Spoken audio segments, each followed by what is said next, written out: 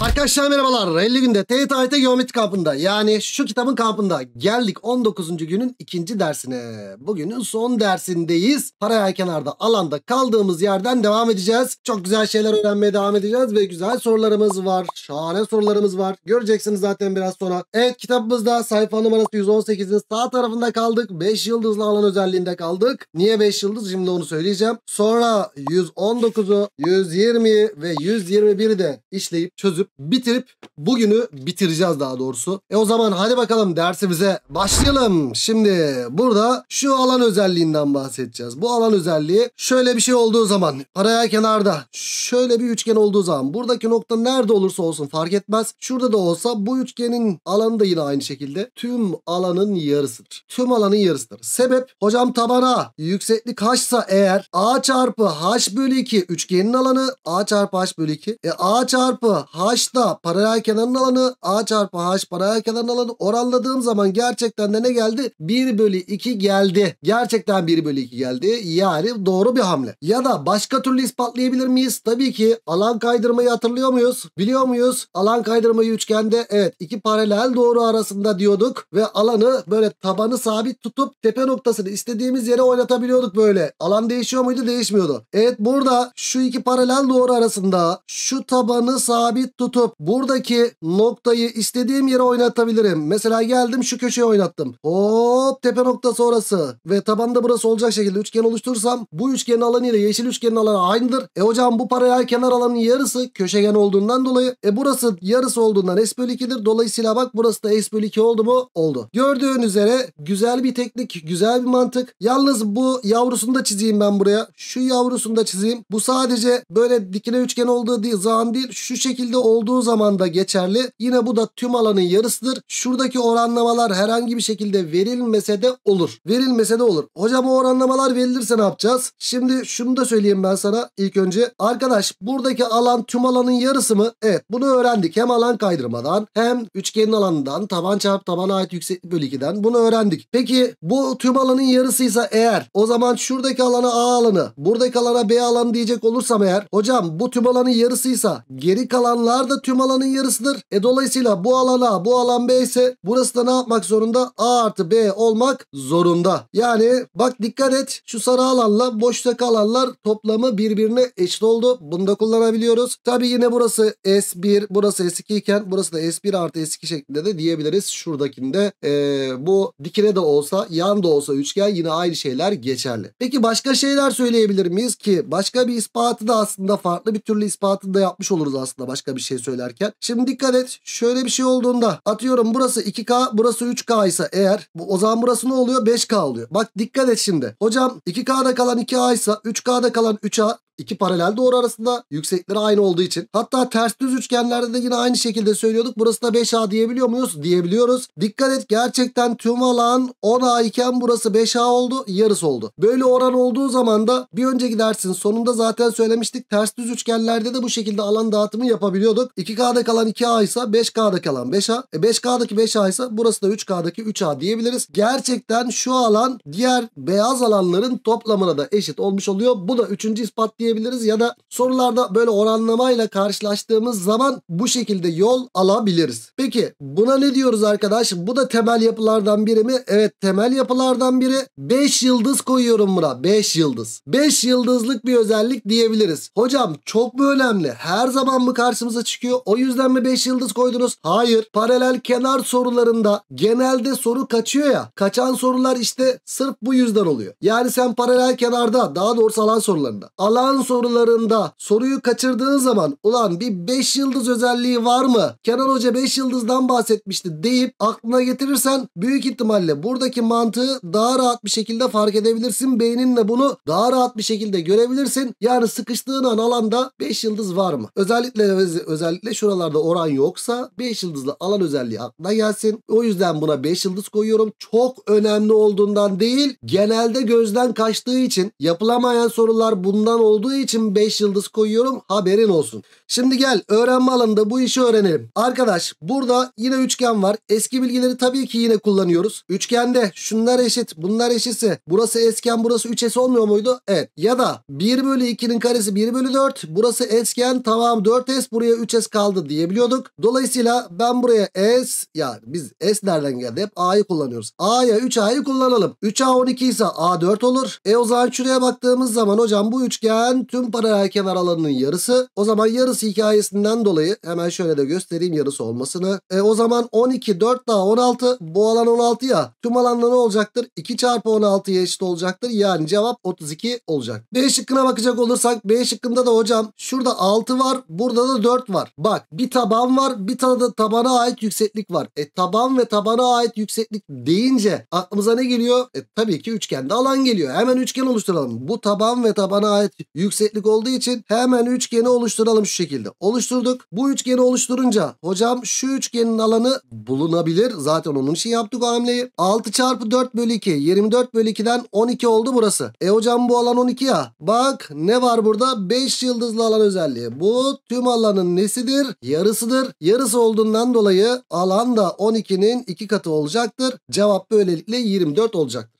Evet kolay gibi gözüküyor şöyle baktığımız zaman ama bununla ilgili ince ayarlı sorular var haberin olsun. Biraz sonra o soruları da göreceğiz. Evet geldik 36. örneğe. Arkadaş burada paralel kenar demiş oranlamalar var. E, oranlamalar varken daha önce nasıl hareket ediyorsak yine aynı şekilde hareket edeceğiz. Hareketimizi edelim bakalım burada. E, burada burası 3K iken burası da 2K verilmiş. Şurası 2K burası da 3K ve eşitlikte verilmiş. Hmm. Şimdi alan dağıtacağız burada. Dağıtalım oranlamalara göre alan dağıtacağız. Bir burada çift çizgiler var bir de 2K 3K var. Ben genelde karışık olan yerlerden dağıtmayı daha çok seviyorum ki ilk başta karışıklık olsun sonrasında daha sade olsun. Hop şöyle. Yani ne yaptım burada aslında? 2K'da kalan 6 ise tepe noktası bu ya. Tepe noktası bu olan şöyle bir üçgen oluşturdum. O zaman 2K'daki 6 ise 3 katı 3K'daki de 3 katı olacaktır doğru orantı olduğundan dolayı burası 9 olur. Sonra çift çizgilere gelelim. Hocam çift çizgideki ve çift çizgideki üçgen. Üçgen oluşturacağız. Hop şöyle oluşturmak çok mantıksız değil mi? Çift çizgiden çift çizgiye şöyle oluşturmak lazım. Hemen onu oluşturduk. Çift çizdeki o zaman böyle oluşturduysak tepe noktası burası oldu. O zaman buradaki çift çizdeki şuraya kadar bakacağım. 15. Buradaki çift çizdeki buraya kadar yine 15 olmak zorunda. Sonra ne yapacağız? E hocam takıldık kaldık. Şuralarda oran da yok maalesef. E bizim 5 yıldızlı alan özelliği var mı diye bakıyoruz. Hop bak şuradaki üçgen 5 yıldızlı alan özelliğini sağlıyor. Yani şöyle bakacak olursak arkadaşım buradaki üçgende ne var? 15 15 30 burası. E tüm alanda ne olacaktır o zaman? Tüm alanda 30'un 2 katı olacaktır. Evet 2 çarpı 30'a eşit olacaktır. Cevap böylelikle ne çıkıyor? 60 çıkıyor dostlar. Evet olay bu. Gördüğünüz üzere sıkıştığınız an 5 yıldızlı alan özelliği aklımıza gelsin. Geldik bir sonraki soruya. ABC'de bir paralel kenar. Evet 37. örnekteyiz. ABC'de paralel kenar ve oranlama verilmiş bize. Hemen burası K iken buranın 2K olduğunu yazalım. EK uzunluğu Egean Kara K EC uzunluğu 2K olarak verilmiş. Sonra e arkadaş burada bu paralel kenardan dolayı otomatikman bunlar paralel mi? Paralel. Oranlama var. Büyük ihtimalle benzerliği kullanacağız. E varsa benzerlikteki oran onu bir yazalım istersen. Hemen yazalım. O zaman hocam burada 1'e 2 oran varsa e burada da 1'e 2 oran vardır. Yazalım şurayı. E belki hocam şu da işin içine girer belki. Bunu da yazalım mı? Ya yazalım ya da yazmadan yapmaya çalışalım bakalım. E, ya da oranlamalar var. Burada alan dağıtabiliriz. Tamam şurası da A iken 1 bölü 3 oran olacak ya. B iken burası 3B. Sıkışırsak bunu da kullanırız. Şimdi oranlamalar var. Alan dağıtacağız. Hocam benzerlik alan ilişkisinden alan dağıtsak burayı bulacağım. Ama buradaki alanı böyle dağıtırken sıkıntı yaşayabilirim. Çünkü yamuk. E ne yapayım? Buradaki üçgen alan dağıtımından gideyim. Mesela şuraya A diyeyim. K'da kalan A ise tepe noktası bu. Hop 2K'da kalan kaç yapar o zaman? 2A yapar. Hemen buraya 2A'yı yazalım. Çünkü üçgende alan dağıtımına alıştık. E o zaman burada da A var hocam. A'dan 2A'ya tepe noktası burası yapmıyor mu? Yapıyor. E o zaman burası tepe noktası burası iken A'daki 3A ise 2A'daki de A'daki 3A ise 3 katı 3 katı 6A yapar burası. Sonra takıldık kaldık bizden alan EKF isteniyor. Hmm. Tüm alanı vermiş bize. Vay. Tüm alanı kullanacağım ben şimdi. Arkadaş tüm alan paralel kenarın alanı verilmiş bana. Paralel kenarın alanından bir yere gidecek miyiz? Buradan sonrasında bir alan dağıtım yapamıyorum. Çünkü buradaki oranlamaları biliyor muyum bilmiyorum. Yazsam yazsam şuradaki oranlamaları yazalım. Alandan bile yazabilirim artık. 2A'ya 6A'ya. A ise ya da B ise burası 3B şeklinde yazabilirim ama diğer boşluktaki oranlamaları bilmediğim için sıkıntı yaşayacağım. E o zaman takıldık kaldık. Takıldığımız zaman ne yapıyorduk?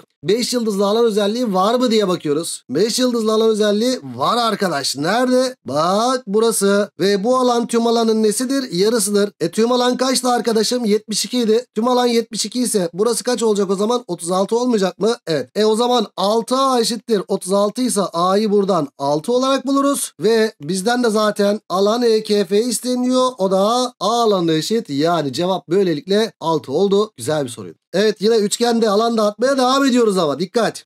Geldik örnek 38'e. ABCD paralel kenarında AE ile DF açıortay AD 13 6 6 verilmiş. Tamam. Neresi 13 verilmiş onu da yazayım. 13 gözükmüyor burada. AD 13 verilmiş. Niye yazmadık kardeşim bunu bu zaman buraya? Şuraya da şöyle bir 13'ü yazalım. Hadi bakalım. Şimdi alan ABCD nedir diye soruluyor bize. Arkadaş burada ne var? Hocam burada açıortay var. Bu da açıortay bu da açıortay. A açıortaylar nasıl kesiyordu? Dik kesiyordu. Ya da A B B deyip 2 artı 2B 180'den A artı B'nin 90 olduğunu görürüz. Burası 90 derece olur mu? Olur. E hocam burada bir dik üçgen çıktı karşıma. Şurada dik üçgen çıktı karşıma. 5 var 13 var. 5 12 13 üçgeninden burası ne oldu o zaman? 12 oldu. Şimdi eksik parçaları tamamladık ve duralım soruyu okuyalım. Bizden ne isteniyor? Alan isteniyor. Ha, alan isteniyorsa o zaman alan mantığını düşünelim. Alan mantığını düşünürken de ben bir bakıyorum ki hocam şuradaki taban var. Bu tabana ait yükseklik var. E, bir taban bir de tabana ait yükseklik varsa üçgenin alanı aklımıza gelmeyecek mi? Evet. Paralel kenar konusunda da nerede olursan ol istersen katı cisimlerde bile olsan aynı yorumu yine yapacaksın. Bir taban bir de tabana ait yükseklik varsa soru kökünde de alan geçiyorsa e, kesinlikle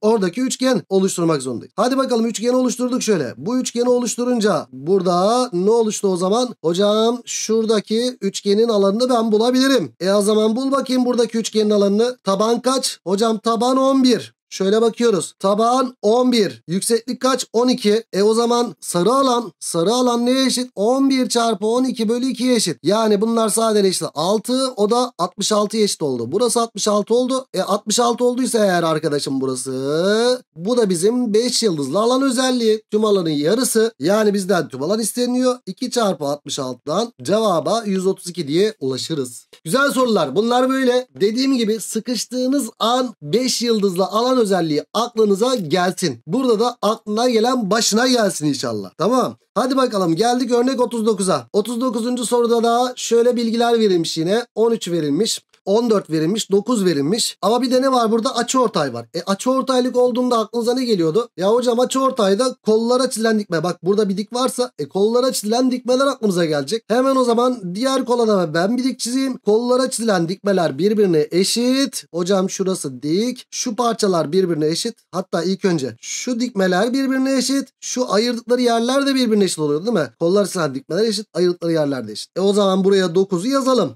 Tamamı 14 olduğundan buraya 5 kaldı. E hocam buradaki üçgen 5, 13. Yine 5, 12, 13 üçgeni karşımıza çıktı. Şimdi alan ABCD isteniyor bizden. Paralel kenarın alanını bulmak istiyorsak tabanına ait yükseklik lazım. Bu tabana ait yükseklik var mı? Yok. Bu tabana ait yükseklik var mı? Yok. Sıkıştık. Alan dağıtabiliyor muyuz? Dağıtamıyoruz. O zaman sıkıştığın an 5 yıldızlı alan özelliği aklına gelsin kardeş. Bak var mı? Var. Ters, düz, yan, sağa bakan, sola bakan bunlara dikkat edeceksin. E hocam bu üçgenin alanını bulabilir miyim? Ben bulabilirim. Ya da şu mantıktan gidebilirdin. Hocam burada bu taban verilmiş. Bir de tabana ait yükseklik var. E o zaman bu üçgenin alanına dikkat edeceğiz. Bu üçgenin alanında tüm alanın nesidir? Yarısıdır. Taban kaç burada? 14. E yükseklik kaç? 12. Sarı alan neye eşit? 14 çarpı 12 bölü 2'ye eşit. Sadeleştir 7. Sarı alanı böylelikle 84 bulduk. Evet bu alan 84 çıktı. Alan ABCD ne olacaktır o zaman? 2 çarpı 84'ten 168'e eşit olacaktır dostlar. Yine eski bilgiler, üçgen bilgileri karşımıza çıkıyor gördüğün üzere. Evet cevaba 168 diye ulaştık. Şimdi 37, 38 bir sayfa. 37, 38. E 39 şıklar mı karışmış burada? Evet galiba şıklar karışmış. 132'yi şurada atlamışız galiba ama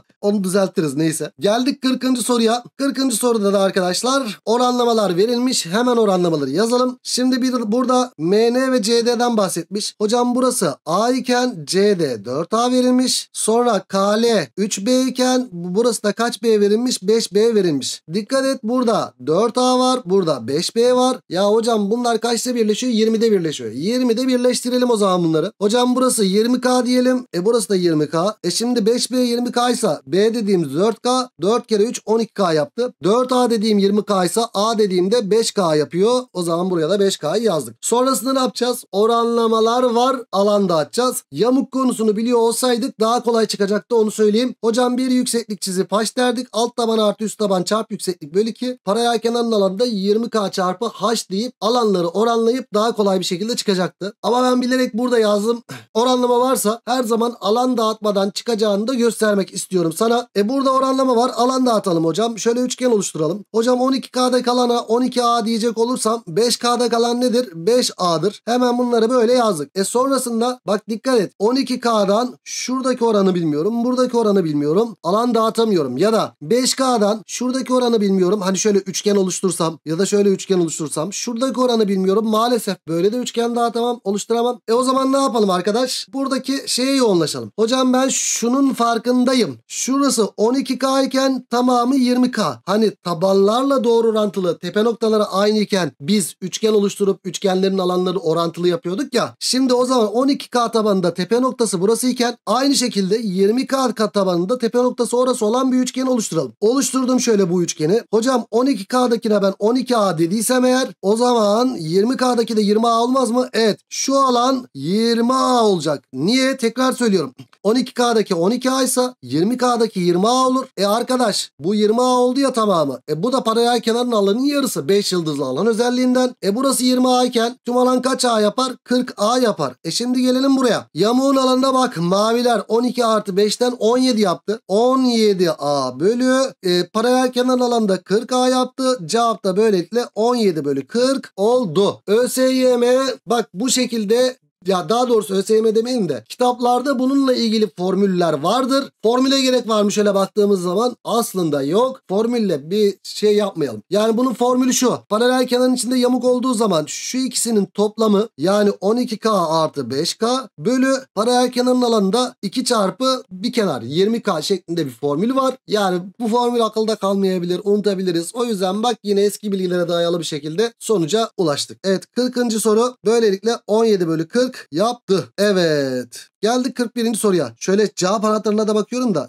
doğru. Orada bir karışıklık olmuş biraz önce. Onu düzeltirim ben merak etmeyin. Geldik şuraya. Arkadaş 41. sorudayız. Öncelikle şöyle bir bana bak bakayım. Soruya Kendin bir uğraşır mısın? Böyle uğraş, uğraş. Emek, emek, emek. Yapman çok önemli, yapmaman da çok önemli. Yaptıktan sonra vay, aa böyle miymiş demek de çok önemli. O yüzden uğraşmanızı istiyorum bazı sorularda. Özellikle bazı kazanımlarda mesela bu kazanımda bunun için böyle bu soruyu da bu soruda durdum. Durduğum sorularda da size uğraşıp emek harcarsanız daha iyi olacağının bu zamana kadar farkına vardınız zaten değil mi? O yüzden uğraş. Hadi bakalım. Seni de göreceğiz. Yorumlara yaz tamam. Ben şimdi ne yapıyorum? Şimdi sorun çözümüne devam. Şimdi ABC'de paralel kenar verilmiş 6, 8, 10 ve X verilmiş. E hocam şurada bir kelebek benzerliği var. Alanlardaki oran 6 bölü 10. Sakın 6K'ya 10K yazma. Niye? Benzerlik oranının karesi alanlar oranına eşitti. Alanlar oranının karekökü benzerlik oranına eşit olur. Yani burası kök 6K'ya burası kök 10K olur. E hocam kök 6K ile kök 10K'dan ben bir şey yapamam. E buralarda da böyle kelebek var ama kelebekten bir şey çıkmıyor o zaman değil mi? Saçma sayılarla karşılaştık burada. E o zaman ne yapacağız? Farklı bir şey düşüneceğiz. Alan dağıtamıyorum. Güzel bir oran da bulamıyorum. Oranlı olmayacak demek ki bu. E oranlı olmayacaksa o zaman neye dikkat edeceğiz demiştik gençler? 5 yıldızlı alana. Bak bakalım 5 yıldızlı alan var mı? 5 yıldızlı alan hikayesi. Hocam burada var şöyle. Ne güzel. Şuraya ben bir A alan dersem paralel kenar alanının yarısı A artı 10 artı X'e eşit değil mi? Bak şurası paralel kenar alanının yarısı. Yani A var 10 var bir de X var burada. Evet doğru. Ama hocam 6'yı 8'i nasıl kullanacağım? Dikkat dikkat. Can alıcı nokta işte burası. Hocam şöyle baktığım zaman burası da paralel kenarın alanın yarısı. 5 yıldızlı alanlarda düz üçgen, ters üçgen, sağda üçgen, solda üçgen. 5 yıldızın bunların dördünde de olduğuna dikkat et lütfen. Tamam. E buradaki mavi alan da paralel kenarın alanın yarısı. 6 artı 8 artı A'ya eşit olacak. A'lar nanay oldu. 10 artı X 14'ten X'i de böylelikle böylelikle kaç buluruz? 4 olarak buluruz. Evet böylelikle örnek 41'i 4 bulduk gençler. Güzel bir soruydu. Evet sıkıştığınız an 5 yıldızlı alana bakıyoruz. Geldik 42. soruya. Ben şu soru işaretini şuraya koyayım da kafam oraya takıldı gitti. Neyse anladınız onu neden koyduğumu. Arkadaş burada paralel kenar verilmiş ve açı ortaylar var. Ne yapacağız hocam? İki farklı yoldan yapabilirsiniz. Birincisi şu. Ya hocam tabana ait yüksekten kollara çizilen yüksekliklerden yapabiliriz böyle. Burası h'sa burası da h'tır. E sonra burada da aynı şekilde kollara çizilen dikmeler eşit olacak. Hocam burası da h oldu. Şimdi üçgenin alanı nedir? a çarpı h bölü 2. a çarpı h bölü 2 eşittir 6. a çarpı h'ı buradan ne bulursun? 12 bulursun. Senden paralel kenarın alan isteniyor. Paralel kenarda taban a iken yükseklik bak bu sefer 2h oldu. a çarpı 2h yani a çarpı h'ın 2 katı oldu. a çarpı h 12 ya. Cevap böylelikle kaç olur? 24 olur diyebiliriz. Birinci yol bu. Kollara çizilen dikmelerden yapacağız ki bu açıortaylar dik ve ortaban üzerinde kesişim ispatıyı da aynı zamanda ispat tekniğini de bazen sorularda kullandığımızda söylemiştim. Evet güzel bir şey. Ama açıortaylar görünce biz ne diyorduk? Dik ve ortaban üzerinde kesişir hocam. Şurası dik olacak ve ortaban üzerinde. Ortaban böyle mi çiziliyordu? Hayır. 90 içinden geçecek. 90 içinden geçecekse şöyle olacak yani şu kenarlara paralel olacak. E o zaman hop ortabanı çizeyim şöyle. Çizdim ortabanı. Şöyle hop çizdim. Şunlar eşit şunlar eşit. E sonra ne yapacağız? Hocam altı alanına yoğunlaşacağız. Bak bu altı alanı. Hocam buradan paralel çizdim ya. Şu da bir paralel kenar. E o zaman burası 6 ise şu paralel kenarın alanı kaç yapar? 12 yapar. Çünkü 5 yıldızlı alan özelliğinden bu yarısıdır. E bu tüm alan 12 ise e, şuradaki alan. Bak alan dağıtma yapıyorum. Çift çizdeki alan 12 ise diğer çift çizdeki alan da yine 12 değil midir? Hani ne demiştik? Yüksekler aynı olan ya da birer kenarları aynı olan paralel kenarlarda alanlar tabanlarıyla doğru orantılıydı. Çift çizdeki 12 ise çift çizdeki 12 yapar ve tüm alanda böylelikle 12 ile 12'nin toplamı 24 yapar gençler. Evet 42. soruyu da bu şekilde 24 bulduk. Geldik 43. soruya. ABC'de paralel kenar verilmiş ve üçgenlerin alanları 15'e 4 olarak verilmiş. Paralel kenarın alanı nedir diye soruluyor bize. Şimdi ne yapacağız burada? Hocam oranlama var. E oranlama varsa büyük ihtimalle alan dağıtımı vardır diye aklına geldi. Hemen buradaki oran mantığını kullanmak için atıyorum böyle bir kelebek oluşturdun ya da biz kısa böyle paralel çiziyorduk. Çizdik kısa paraleli. Hem kelebek oluştu hem temel orantı oluştu diyeceksin ama şuradaki oranı biliyor musun? Bilmiyorsun. O yüzden buradaki oranı bilmediğin için sonrasında alan dağıtımı yapamazsın. E burada ne yapacağız o zaman hocam? Burada böyle bir oran yoksa o zaman 5 yıldızlı alan muhabbetine dikkat edeceksin. Hemen 5 yıldızlı alana dikkat edelim. hocam şurası. Bak gördün oran yok ki orada. Şurası tüm alanın yarısıdır burası. Yani şuraya bir A alanı diyecek olursan hocam bu alan tüm alanın yarısı diyeceğiz. Hemen onu kullanalım. Yani paralel kenar alanın yarısı A artı 15'e eşit. O zaman paralel kenarın alanı 2A artı 30'a eşit olacak. Peki. Sonra verilen her bir bilgiyi kullanacağız diyoruz. Verilen her bir bilgi hocam şuradaki eşitliği kullanacağız. Buradaki eşitliği nasıl kullanacağız? Eşitlik. Aa temel yapılardan biri. Hocam bir köşeden karşı köşeye kenarın ortasına gittiği zaman temel yapı bu alan tüm alanın dörtte biriydi. Yani hemen orada da tüm alanın dörtte biri hikayesini kullanalım şurada. Paralel kenarın dörtte biri de A artı 4 olmak zorunda. Paralel kenarın alanı da 4A artı 16 olur. Bak burada ne oldu? Paralel kenar alanı bu oldu. Aynı zamanda bu oldu. Her ikisi de birbirine eşit değil mi? Evet. Yani 4A artı 16 eşittir 2A artı 20, 30 diyeceğiz. Buradan 2A eşittir 14 geldi ve A'yı da buradan kaç bulduk? 7 bulduk. Bizden paralel kenarın alanı isteniyor. A 7 ya. Sonrası 7 burada 15 burada bu yarısı deyip iki katından ya da A 7 ya 7 burada 4 burada bu da 4'te 1 deyip 44 diyebiliriz. Ama bu 7'den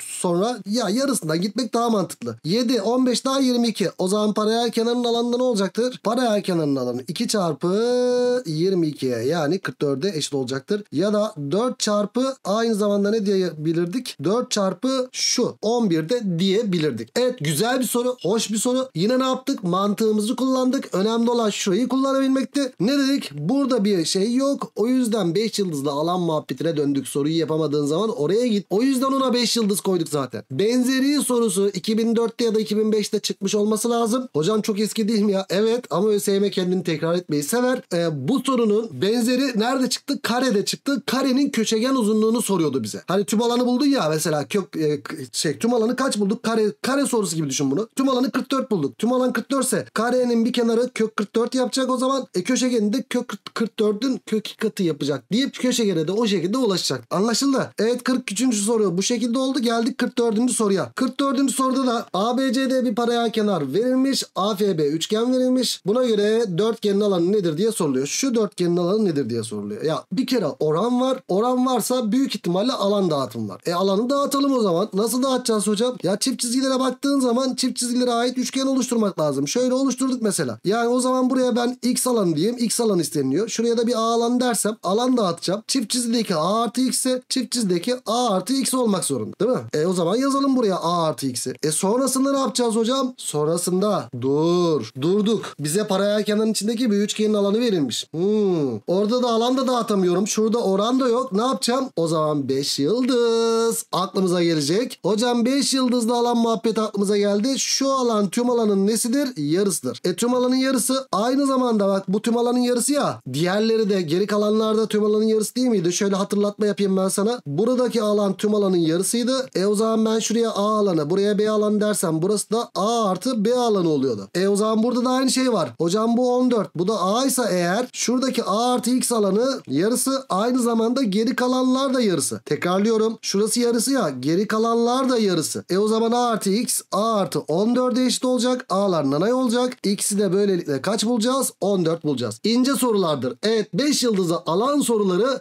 gerçekten ince sorulardır. Bu ince sorulara dikkat. 44. soruyu 14 bulduk. Geldik 45. soruya. Şimdi 45. soruda da şöyle bir şey verilmiş. ABCD ve KBML birer paralel kenar olarak verilmiş. Şimdi alanlarda bu şekilde verilmiş. Eyvah hiçbir şekilde oran yok. Ben sadece ve sadece paralel kenar olarak şunu biliyorum. Şunlar birbirine paralel. Hocam bunlar birbirine paralel. Bakıyorum paralelliklerde kelebek benzerliği falan filan yok. İşte oran bulamıyorum burada. Hani en azından kelebek benzerliği varsa alanlar var ya benzerlik oranının karesi alanlar oranına eşit ya. Alanlar oranının karekökü de benzerlik oranına eşit diyeceğim ama maalesef yok. Ya da şu paralel kenarda şu karşılıklı kenarların paralel olmasından ya da şu karşılıklı kenarların paralel olmasından böyle bir şey gelmiyor. Ne yapalım? İki tane paralel kenar var. O zaman iki tane paralel kenarı şöyle bir ayrı ayrı belirleyeyim böyle. Bir kırmızı paralel kenarımız var. Bir de mavi paralel kenarımız var. Şimdi ben bunları şöyle belirleyeyim ki belki işimi daha da kolaylaştırır. E ben bundan sonrasında ne yapacağım? Hocam burada hiçbir şey yapamıyoruz. E burada hiçbir şey yapamıyorsak alan dağıtım falan da yapamıyorsak 5 yıldızlı alan muhabbeti var mı yok mu diye bak. Yok hocam. E biz kendimiz oluştururuz. Al şunu şöyle çiz. Bunu böyle çizince bu alan tüm alanın mavi alanın yarısı oldu mu? Oldu. Evet bu alan mavi alanın yarısı. Dikkat. Şu mavi alana bak şimdi. Mavi alanın gerçekten yarısı burası. E burası yarısıyken geri kalan üçgenler de yarısı yapıyordu. O zaman şuraya bir boşluğa A alanı diyelim. Yani siyah alan neye eşit oldu? Aynı zamanda şu diğer alanlar toplamına eşit oldu. A artı 3 artı 7'ye eşit oldu. Eyvallah. E sonra ne yapacağız? Kırmızı paralel kenara dikkat edelim. Kırmızı paralel kenarda da şu siyah alan. Aa bu da 5 yıldızlı alan muhabbeti oluşturmuş. Baksana. Bu sefer şöyle şöyle şöyle var. Bak bu alan tüm alanın yarısı değil mi? Evet. Buradaki siyah alanda kırmızı alanda kırmızı paralel kenarda tüm alanın yarısı. Hatta geri kalanlar da tüm alanın yarısı olmaz mı? Olur. Siyah alan aynı zamanda neye eşit? O zaman diğer boştaki bak bu siyah alan diğer boştaki alanlar x artı a artı 2. x artı a artı 2 yazıca a'lar nanay oldu. Buradan da şinanay yavrum şinanay mı oluyor? Ondan 2 çıktı 8. Öbür tarafta da x kaldı. X'i de böylelikle 8 buluruz. Ya çok ince sorular dedik ya. Gerçekten ince sorular ama kolay da çıkıyor. Ama sıkıştığın an 5 yıldız. 5 yıldız 5 yıldız boşuna demiyorum. Evet geldik mükemmel bir soruya. Bu sene eklediğim sorulardan birisi. Gerçekten çok güzel bir soru. Öncelikle o zaman şöyle bir bana bak bakayım. Arkadaş bu soru ellerinden öpsün mü? Gerçekten çok tatlı bir soru. Yani bak hiçbir kitapta yok. Ciddi anlamda yok. Yeni yazılmış, taze çıkmış. Süper bir soru. Sana özel yazılmış bir soru. O yüzden sana özel yazılmış bir soruyu şöyle bir çözmeye çalışır mısın? Çok tatlı bir soru gerçekten. Bakalım yapabilecek misin? Ben de merak ediyorum. Çünkü ben de bu soruyu yazarken bayağı bir uğraştım. Ulan şöyle mi olsa, böyle mi olsa, bunu mu yapsam, bu şunu mu yapsam derken ince bir nokta, ince bir ayar yani sana çözdürdüğüm sorular sana bir şey katıyor biliyorsun. Hadi bakalım o bu soru olsun ve sınavda çıksın ve sana çok güzel bir şey katsın. Hadi bakalım ben de çözüyorum şimdi soruyu. Ama sen ne yapıyorsun öncelikli olarak? sen kendin bir uğraş, durdur videoyu ondan sonrasında gel beni izle. Soruyu yapsam bile beni izle. Paralel kenar şeklindeki bir tahtanın iki köşesine bir lastiğin iki ucu sabitleniyor. Lastik herhangi bir yerinden tutulup ger gerildiğinde tutulan kısmı şekil 1'deki paralel kenarı üzerinde ve sonra da şekil 2'deki gibi paralel kenarın dış bölgesine çekiliyor. Gel birlikte çekelim. İlk önce lastik bu şekilde orada paralel kenarın üstünde olduğu zaman orada beyaz alan oluşturmuş. Lastiği sonra geriye doğru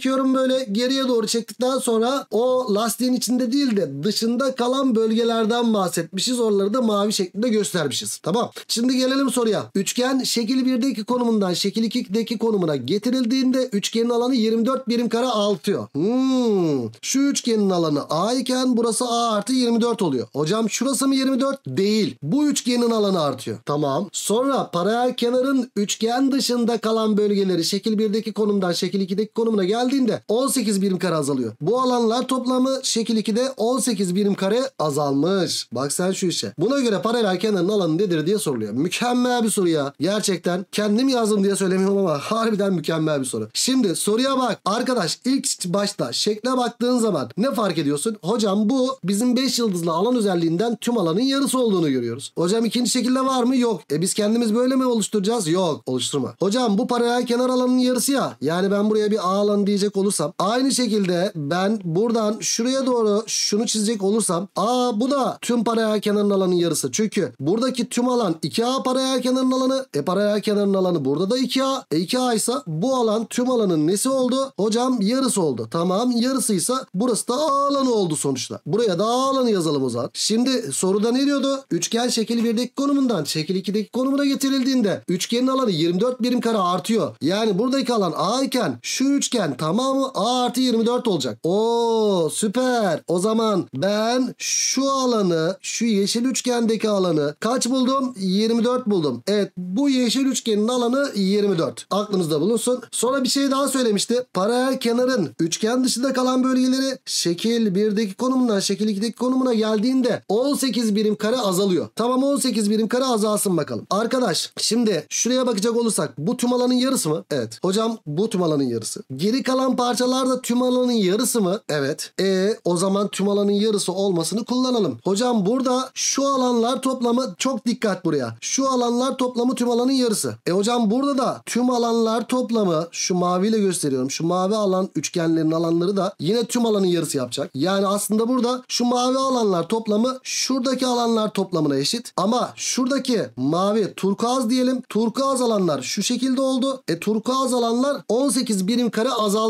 E burada normalde şu mavi alanlar toplamı şu mavi alanlar toplamına eşitken şimdi turkuaz alanlara bakıyorum. Turkuaz alanlar toplamı burada mavi alana eşitti. E buradaki mavi alandan şu kadar bir azalma yok mu kardeşim? Var. Yani adam bize şuradaki alana 18 diyor. Bak sorudaki çakallığa bak. Buradaki şekil 1'deki konumundan şekil 2'deki konumuna getirildiğinde şu turkuaz alanlar 18 birim kare azaldı. Normalde turkuaz alanlar şuna eşit ama şimdi turkuaz alanlar şunlar oldu ya. E azalan kısım şurası oldu yani 18 oldu. Güzel. E buradaki alanda 24 değil miydi kardeşim şu yeşil alanda? Evet 24 ise buraya ne kaldı? 6 kaldı. E 6 kaldıysa arkadaş şimdi burada oranlara bakıyorum. Bak 18 bölü 6 yani alanda bir oran var. Tabandaki oranı yazabilirim. 18 bölü 6 3 bölü 1 ya da 6 bölü 18 1 bölü 3. Dolayısıyla burası K iken burası 3K yazabilir miyiz? Yazabiliriz. Yazalım o zaman K'ya 3K. Hatta burada şunlar birbirine paralel değil mi? Paralel. E burada 1'e 3 oran varsa burada da 1'e 3 oran vardır. Burası da n ise burası da 3n'dir. E şimdi buradan n'deki alan 24 ise 3n'deki alana kaç diyebiliriz? Bak alanı dağıtabiliyorum. Hocam n'deki alan 24 ise direkt 24 katı 3n'deki de 24 katı 72 yapar. Yani burayı 72 bulduk. E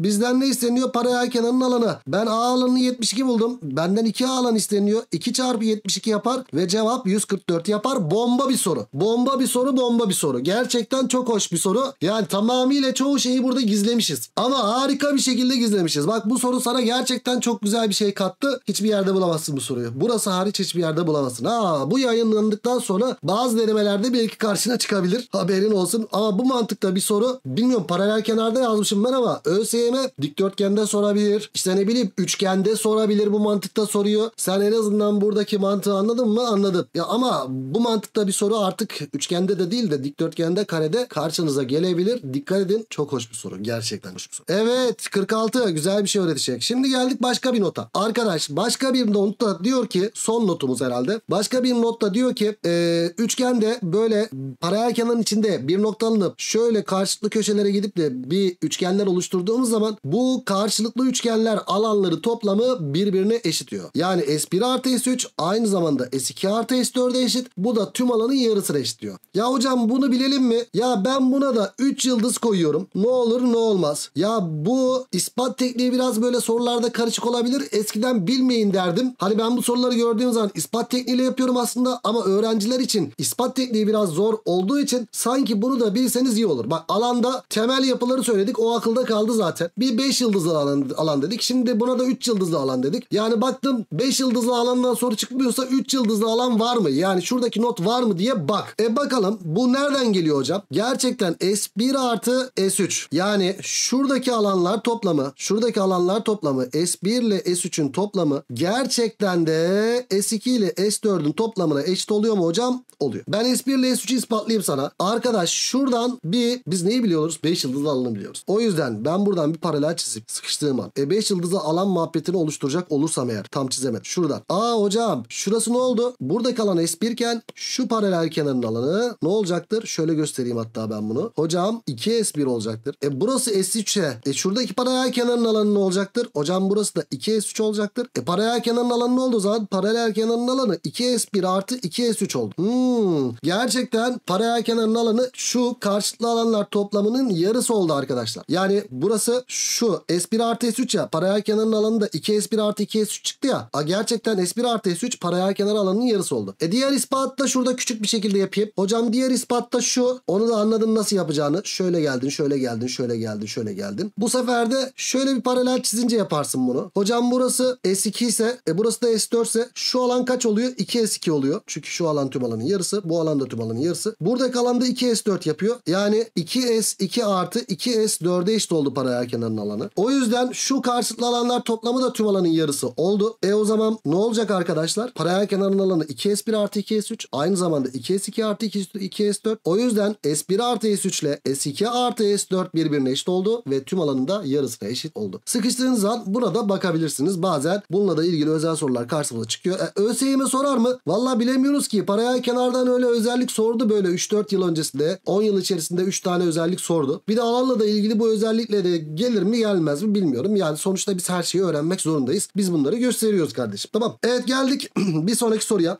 Arkadaş burada garip garip alanlar verilmiş. 12, 9 ve X verilmiş. E, oran yok. Alan dağıtamıyorum. 5 yıldızlı alan var mı? Bakıyorum. Hocam 5 yıldızlı alan yok. E, şöyle maalesef yok. Yani şuradaki var mı şöyle bir şey? Yok. Ama şu var mesela. Bu paralel kenar alanının yarısı. O, ama başka ne yapacağız? Burada bir nokta alınmış. Bu noktayı da kullanmak zorundayım ben. E o zaman bu noktayı da kullanmak zorundaysam eğer. Aa hocam şurada 9 alanı var. E şuradaki alan şu ikisinin toplamı tüm alanın yarısı değil mi? Yani en son sıkıştığın an 3 yıldızlı alan özelliği var mı de. E o zaman ben buraya bir A alanı dersem paralel kenar alanının yarısı A artı X artı 9'a eşit. Niye? Çünkü şundan dolayı gösteriyorum. Bak dikkat. Şuradaki alanlar toplamı karşılıklı alanlar toplamı bu tüm alanın yarısına eşit. E tamam. Sonra ne yapacağız? 12'yi kullanmam lazım. Hocam 12 nerede? Burada. A A'nın yanında. A şu alanda paralel kenar alanının yarısı değil mi? Evet. Paralel kenar alanının yarısı aynı zamanda A artı 12'ye eşit. A'lar nanay oldu. X artı 9 12'den. X de böylelikle 3 geldi dost. Evet örnek 47'de 3 bulduk. Bu sefer de ne yaptık? Şuradaki alan paralel kenarın alanının yarısı dedik. Ve şu karşılıklı alanlar toplamı da yine paralel kenar alanının yarısı olduğundan dolayı.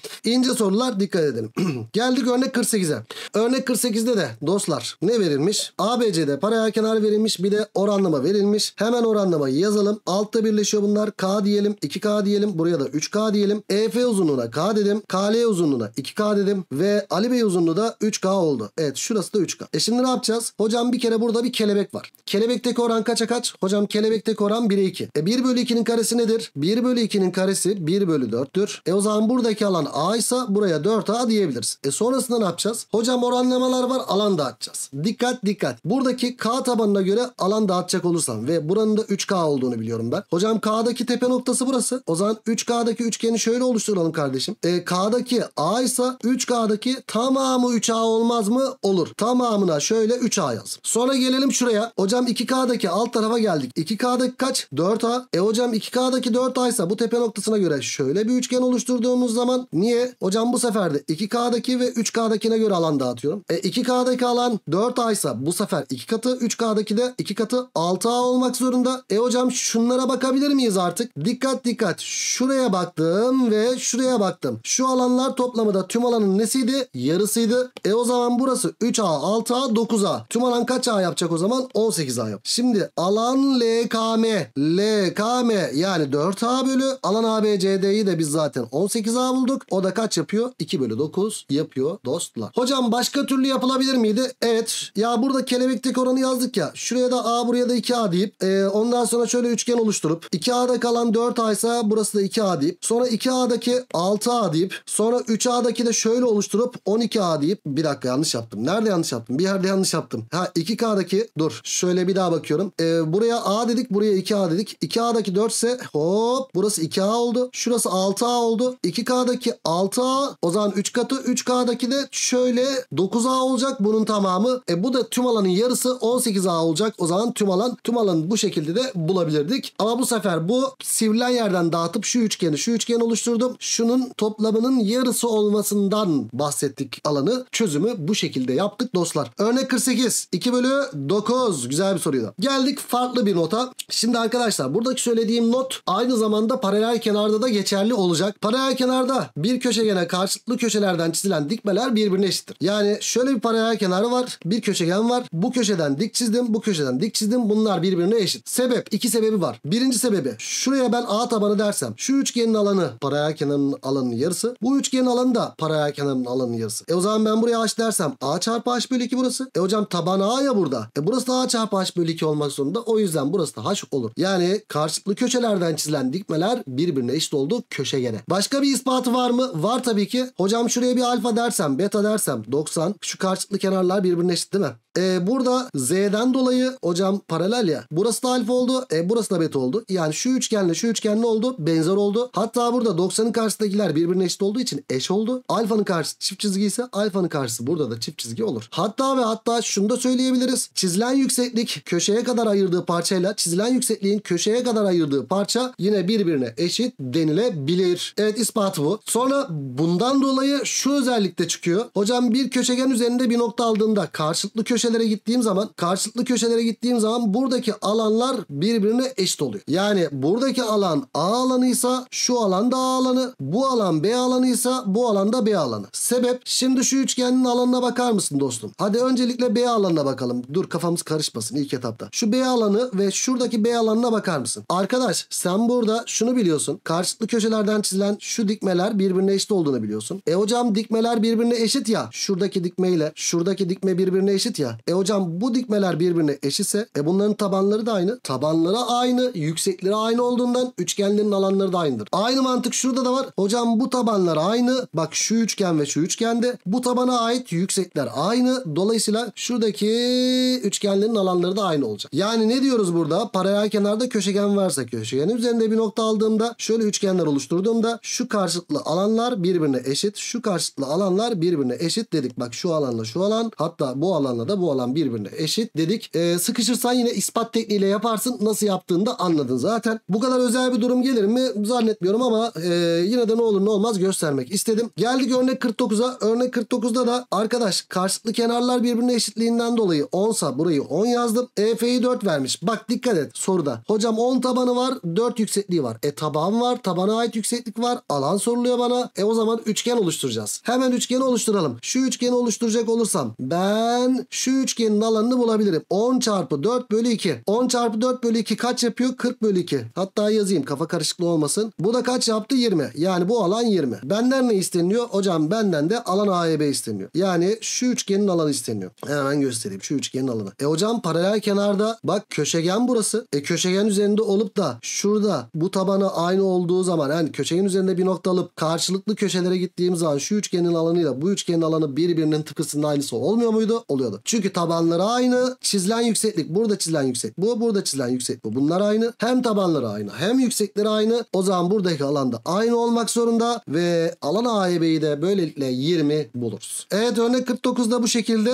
geldik bir sonraki şeye. Dostlar paralel kenarın köşelerinde oluşan üçgenlerde sana kısa bir yol vereceğim şimdi. Normalde bu yolu çok fazla kullanmayı sevmem. Üçgende sevmem ama paralel kenarda gerçekten işimize yarıyor. Biz üçgende nasıl kullanmıştık bunu? Hocam şöyle aynı köşeye ait, aynı tepe açısına ait üçgenler varsa eğer şuradaki oranlamalarda katsayılar mesela A, 2A, A işte 2B, 3B, B mesela. Katsayılar çarpımıyla şu üçgenin alanı, katsayılar çarpımıyla tamamının alanı. Büyük üçgende de hop tamamının alanı katsayılar çarpımıyla doğru orantılı deyip bir şey göstermiştik size hatırlarsanız değil mi? E bunu gösterdik. Tamam. E, burada da paralel kenarda da aynı şeyi söyleyebiliriz. Hocam köşeleri paralel kenarın köşeleri olan üçgenlerde alanlar katsayılar çarpımıyla doğru orantılı. Burası 2B değil mi? Karşısından dolayı 2B ise 2B, 2A ise 2A. Evet hocam. E şimdi şuraya bak. 1 1 katsayılar çarpımı. S ise katsayılar çarpımı 2 2S katsayılar çarpımı 2 2S dedik. Bu şekilde çıkıyor. İspatı ne diye soracak olursan burası alfa ise bu üçgenin alanı ne? A çarpı B çarpı sinüs alfa bölü 2. Hocam bu üçgenin alanı ne? A çarpı B bak burası 180 eksi alfa oluyor. Çarpı sinüs 180 eksi alfa bölü 2 yaptı. E ben bunları oranlayacak olursam hop sin alfa ile sin 180 eksi alfa birbirinin tıpkısının aynısı. A'lar B'ler gitti. Tabi burası 2A yapacaktı. O yüzden burası da ne oldu dostlar? Şurası yukarısı hiçbir şey kalmadı aşağısında sadece 2 kaldı. Bak cevap gerçekten 1 bölü 2 yaptı mı? Yaptı. İşte o yüzden paralel kenarın köşelerinde bu üçgenler oluştuğu zaman katsayılar çarpımıyla doğru orantılı deyip daha rahat bir şekilde işlem yapabiliriz. Bazı karışık sorularda çok işimize yarıyor. Geriye dönüp bazı sorularda da bu tekniği de uygulayabilirsin bu arada. E hocam paralel kenarın alanını nasıl bulacağız? Paralel kenarın alanı da tüm alanda 8S demişiz. Niye 8S? Çünkü paralel kenara gelelim şöyle. Hocam paralel kenara geldiğimiz zaman burası 2A, burası 2B ya. Ben şöyle üçgen oluşturursam A bu sefer bu köşeye ait üçgen oluştu. 2 kere 2 4. Burası 4S olur. E burası da 4S. Tüm alanda 8S olur. Yani toparlayacak olursak üçgenler oluşuyorsa eğer katsayılar çarpımıyla doğru orantılıdır üçgenlerin alanı. Paralel kenarın alanını bulurken de katsayılar çarpımının iki katı diyebiliriz. Çünkü iki tane üçgen olduğundan dolayı dostlar. Tamam buna dikkat edin. Bu da ince bir sorudur. Bazı özel sorularda da karşılaşabiliriz. E bakalım o zaman 50. soruya. Bakalım işimize gerçekten yarıyor mu? Bu arada geriye dönüp ilk günkü videolardaki dersteki soruları bazı soruları bu tekniğe göre de uyarlayabilirsiniz. Ama oradaki öğrendiğiniz teknik üçgen yardımıyla yapma o da çok önemli. O yüzden bunu sona bıraktım. Şimdi ABCD paralel kenar demiş oran verilmiş. Burası 3K verilmiş. Burası 2K verilmiş. Burası A iken de burası 2A verilmiş. EB'nin uzunluğu A iken buraya 2A yazdım. CF uzunluğuna 3K iken buraya da 2K yazdım. A hocam burası 3A burası da 5A 5K'yı şöyle yazalım. Şimdi üçgenlerin alanları neydi? Katsayılar çarpımıyla doğru orantılı. O zaman 5 kere 2 10. Hocam burası 10A iken 3 kere 3 9. Burası 9A. 2 kere 1 2. Burası da 2A diyebiliriz. Paralel kenarın alanı nedir peki hocam? E hocam şuraya bakacak olursak burası 5K. Burası da 3A ya. Hop 5 kere 3 15A burası. 15A burası. Paralel kenarın alanı da o zaman 30A yapar diyeceğiz. Kafadan yapmadım gösterdim sadece. Katsayılar çarpımının 2 kat deyip ezbere de yapabilirdik tabii. E o zaman bizden ne isteniyor? Alan EDF isteniyor. Şimdi alan EDF'yi bulalım. Soru işareti koydum. Niye? Kitabı düzeltmek için. Burada bak kalın punto değil ya o yüzden böyle bir şey yaptım. Neyse. Bazı takıntılarım var böyle. Mükemmelliyetçi bir yapım var herhalde. Neyse. Şimdi bizden ne isteniyor? Neler vermiş? Alan AED. Tamam belli. Şimdi tüm alanı biz kaç bulduk? 30 bulduk. Hocam şuraya bakalım. 10 burada. 2 burada. 9 burada. 21A yaptı. E tüm alan 30 sa 30'dan 21 çıkınca buraya ne kaldı? 9A kaldı hocam. E alan AEDF'de 9A oldu ya. E zaten 10A 20 ise A'yı buradan kaç buluruz? 2 buluruz. A yerine 2 yazdığımızda cevapta kaç çıkar o zaman? 18 çıkar dostlar. Gerçekten özellikle bu içerideki şu üçgenin alanını bulurken şu katsayılar çarpımı bilmek gerekiyor. Çünkü bu soruda mesela alan dağıtarak yapmak gerçekten çok zor. Önce A'lara göre dağıtıp şu tüm alanın kaçta kaç olduğunu bulacaksın. Sonra K'lara göre dağıtıp şöyle bu alan tüm alanın kaçta kaç olduğunu bulacaksın. Sonra buradaki alanı dağıtıp tüm alanın kaçta kaç olduğunu bulacaksın. Ee, o yüzden bu soruda mesela sıkıntı oluyor. Bayağı bir zorlanabilirsin. Peki örnek 51. Geldik örnek 51'e. 51. soruda da ne verilmiş bize? Şimdi oranlamaları yazalım. Hocam burası A iken burası 2A verilmiş. FC uzunluğu A iken buraya 2A yazdık. Başka 12 ve 3 verilmiş. Bir de açı ortaymış. E tamam açı ortaylığı kullanacağız o zaman. Açı ortaylığı nasıl kullan? Hocam Z'den dolayı bak burası ne oldu? Nokta açısı oldu. 3A ise karşı taraf 3A. Burası da 3A oldu mu? Oldu. E bu oranlamalardan dolayı alan dağıtabiliyor muyuz? Hadi dağıtsak bile bildiğimiz bir alan yok ki. Hocam burada A'da kalan A ise 2A'da kalan 2A deriz. Ama buradaki oranı bilmiyorum sonra. Bak buradaki oranı bilmiyorum. Burası 3A iken burası ne bilmiyorum. Sonrasında alan dağıtımı yapamayacağım. O yüzden benim şuradaki oran mantığını kullanmam lazım. Oran mantığı nasıl kullanılıyordu? Hocam benzerlikle. İçeri paralel çiz çıkmadı. İçe paralel çizince çıkmadı. Çünkü içe paralel çizince kelebek oluşmasını istiyorduk. Bak bu sefer çıkmadı. O yüzden ne yapacağız? Dışarıya doğru paralel çizelim. Hocam dışarıya doğru paralel çizdiğimizde de şurada 1'e 2 oran var. Hocam 1'e 2 oran var. E o zaman burası n'se burası 2n diyeceğim. Ama yine buradaki oranı bulamayacağım. O zaman farklı bir şey yapmam lazım. Açıya daldık ama açıya devam etmedik. O zaman açıya bir devam edelim. Buraya bir alfa alfa dersem burası da alfa. E burası 2 alfa değil mi? Karşılıklı açılar birbirine eşit olduğundan dolayı. Evet. Sonra ne yapacağız? Alfa 90 sa açıya devam edelim o zaman. Hocam burası 90 eksi alfa yaptı. E şu ikisi toplamı 90 artı alfa. Buraya da ne kaldı o zaman? 90 eksi alfa kaldı. Vay inceliğe bak. 90 eksi alfaya 90 eksi alfa. O zaman burada ne oldu? İkiz kenar çıktı. A ise burası da ne oldu o zaman? A oldu. İkiz kenarlıktan dolayı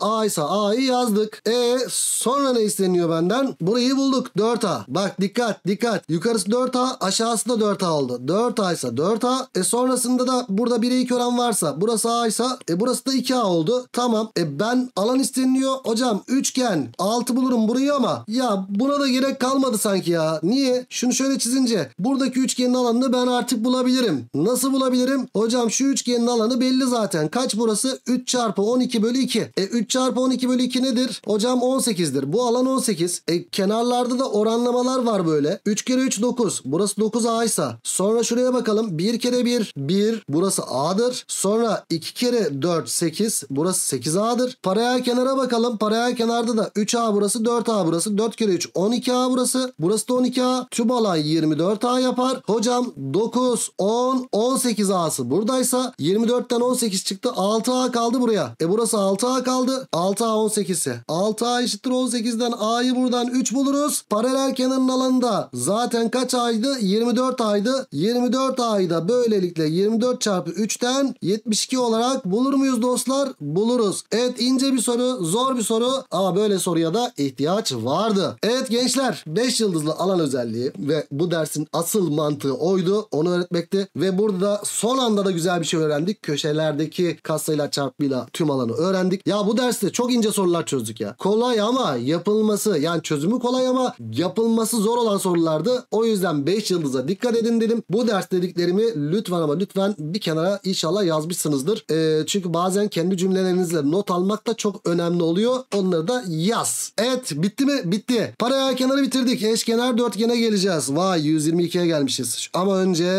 işin en zevkli yanına gelelim. Şöyle geldik. 19. gündeyiz. Hop şöyle tike attık. Sonra geldik. Şuraya baktık. Burada da bir tike atalım bakalım. Hocam 19. günde. Ödeviniz var mı? Var. Nerede kitap? Ya şurada arkamda görüyorsunuz. Soru bankasında sayfa numarası 86 ile 97 ödev. Sonra haftalık programa bakalım. Haftalık programda da 10. hafta gidenler. Gidenler 10. haftayı bitirdi. 18. ve 19.